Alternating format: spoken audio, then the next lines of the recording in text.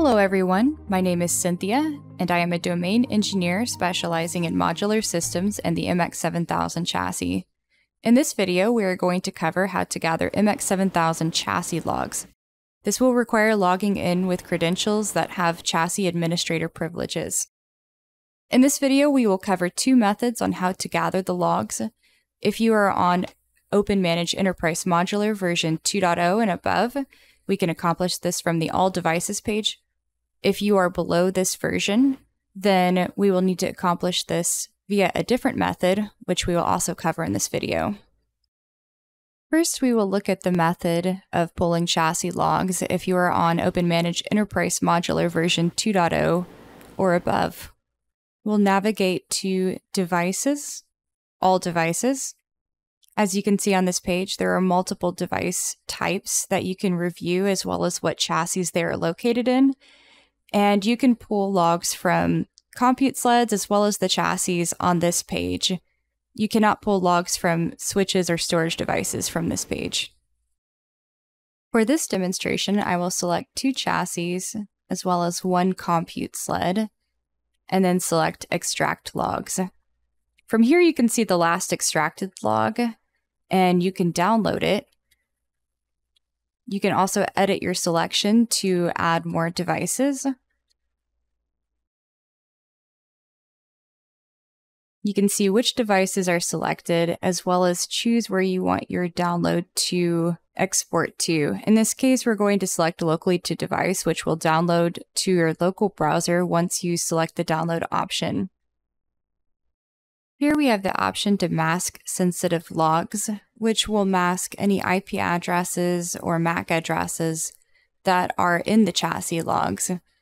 Sensitive information that is captured as a part of the audit logs will not be masked, however. We also have the option of adding additional logs to the compute sled logs we are collecting. For example, if you are troubleshooting issues with drives or with your RAID controller, then you might select the storage log option. The debug logs option is typically selected if we're trying to troubleshoot a more complex issue, as it gives us a lot of granular information about what's going on in the compute sled that we're gathering logs on. And typically, when creating a support assist collection from the iDRAC or via this method from the chassis GUI, we would prefer to have the debug logs option checked because it gives us more granular information.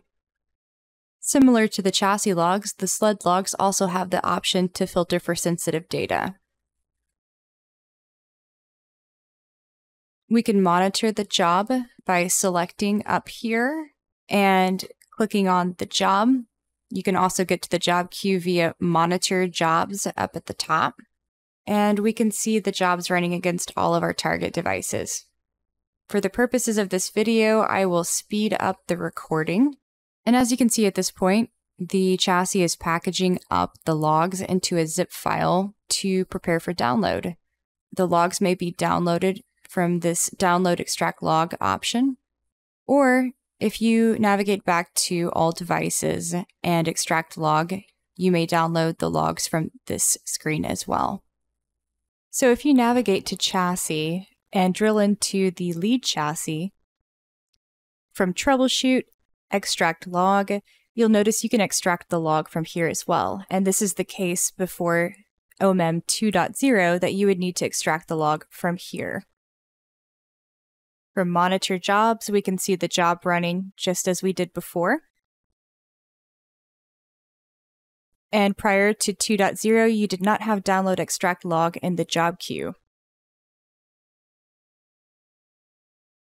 You would have to go back to troubleshoot extract log, and then download the log from here.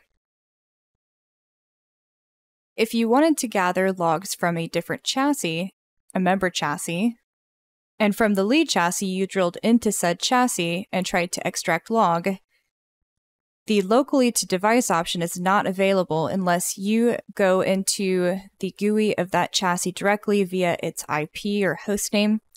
However, you can extract the log to an NFS or CIFS share via this method. And that concludes this video. Thank you for watching.